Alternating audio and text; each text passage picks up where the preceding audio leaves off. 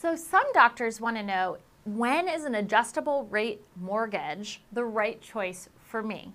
And my answer to that is it really depends on your goal with your home. So some of the doctors we take care of say, Keri, I really want to keep this home whether I move on after this assignment or not because I'm happy being a landlord and having an investment property in my portfolio. For someone like that that intends to hold on to the property, I would not recommend an ARM unless you're doing an ARM that is fixed in longer intervals and where the payoff for having the lower interest rate than a 30 year fixed is dramatic monthly. Okay?